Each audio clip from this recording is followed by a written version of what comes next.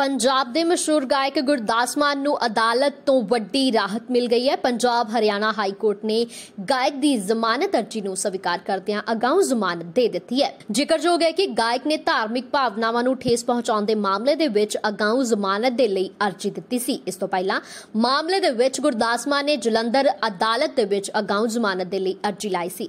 ਪਰੰਤੂ session court ਦੇ ਵਿੱਚ ਐਡੀਸ਼ਨਲ ਜੱਜ ਨੇ ਅਦਾਲਤ ਦੇ ਵਿੱਚ ਸੁਣਵਾਈ ਚੱਲਦੀ ਰਹੀ ਅਤੇ ਇਸ ਦੇ ਦੌਰਾਨ ਅਦਾਲਤ ਨੇ ਗੁਰਦਾਸ ਮਾਨ ਦੀ ਅਗਾਊਂ ਜ਼ਮਾਨਤ ਪਟੀਸ਼ਨ ਰੱਦ ਕਰ ਦਿੱਤੀ ਸੀ। ਜ਼ਿਕਰਯੋਗ ਹੈ ਕਿ ਨਕੋਦਰ ਦੇ ਡੇਰਾ ਬਾਬਾ ਮੁਰਾਸ਼ਾ ਜੀ ਦੇ ਹੋਏ ਮੇਲੇ ਦੌਰਾਨ ਗੁਰਦਾਸ ਮਾਨ ਨੇ ਸਾਈ ਲਾਡੀ ਸ਼ਾਹ ਜੀ ਨੂੰ ਸ੍ਰੀ ਗੁਰੂ ਅਮਰਦਾਸ ਜੀ ਦਾ ਵੰਸ਼ ਦੱਸਿਆ ਸੀ। ਇਸ ਤੋਂ ਬਾਅਦ ਉਹ ਵਿਵਾਦਾਂ ਦੇ ਵਿੱਚ ਘਿਰ ਗਏ। ਉਹਨਾਂ ਖਿਲਾਫ ਨਕੋਦਰ ਦੇ ਵਿੱਚ 26 ਅਗਸਤ ਨੂੰ ਧਾਰਮਿਕ ਭਾਵਨਾਵਾਂ ਨੂੰ ਠੇਸ ਪਹੁੰਚਾਉਣ ਨੂੰ ਲੈ ਕੇ ਐਫ ਆਈ ਆਰ ਦਰਜ ਕੀਤੀ ਗਈ।